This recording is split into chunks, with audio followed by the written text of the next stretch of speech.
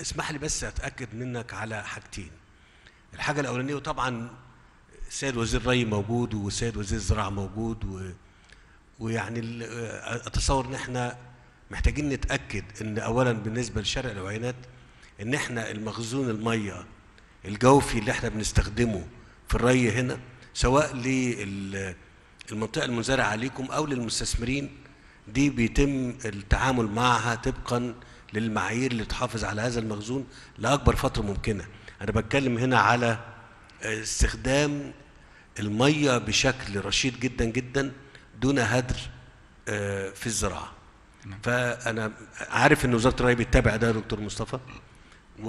وعايز أطمن منك ومن وزير الري على إن إحنا استخدامنا للمية هنا سواء لل- للمسؤولين في الشركة دي أو لرجال الأعمال اللي آه، اللي شغالين في آه، منطقة شرق العوينات دي واحد.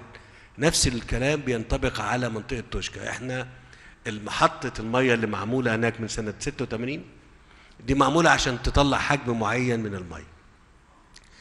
إحنا محتاجين إن إحنا هذا الحجم يتم الاستفادة القصوى منه في الزراعة.